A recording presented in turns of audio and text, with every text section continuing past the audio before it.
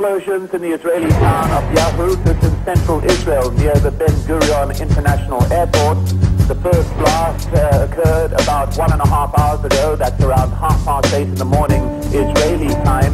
A second blast occurred 10 minutes later in another vehicle parked uh, a couple of hundred meters away from the first blast. Yo, defeat your enemies with kindness. Now we culture refinements, right? And show your love like diamonds. It's blindness under the eyelids of men, women, and children of all color and religion. I guess building underneath the ceiling of a universal temple is essential to break through the iron fence of war and swing condemned swords. See, remedy and now we swarm as one colony to make you wonder what you die for.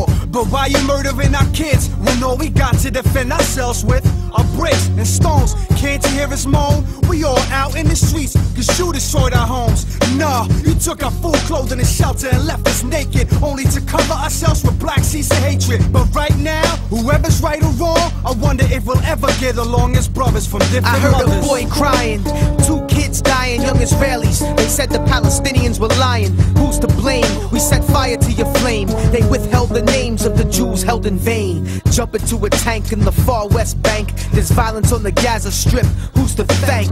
Listen.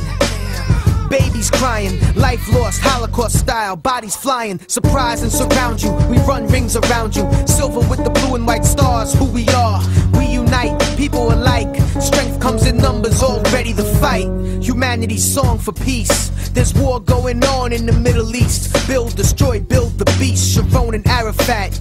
Remedy, counterattack. What's the cure? Yo, RZA, where you at? Positive education, always correcting errors. You can never gain peace by inflicting terror and strapping bombs to arms. Running up inside buildings, killing little children and moms. Instead of trying to take land, y'all should shake hands and give respect to the great father Abraham. Been fighting over Palestine since Saladin. Have you learned what the word non-violent mean? Or turn the other cheek? You burned your brother Jeep. When Jacob came home, he gave his brother sheep. Which there used to be troops and shoot fruit.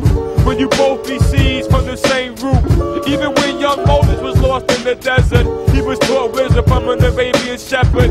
My pen is mightier than CNN. Right now, I teach you how to see in, in. Close your eyes silently, breathing deep. Inhale this air all the way to your feet. Then exhale slowly through your nostril. Combine the Torah, Quran with the gospel. Put your mind open and eyes shut. You can't tell the difference of who's who and what's what. Please educate the lost children every day. A lesson a day keeps the devil away.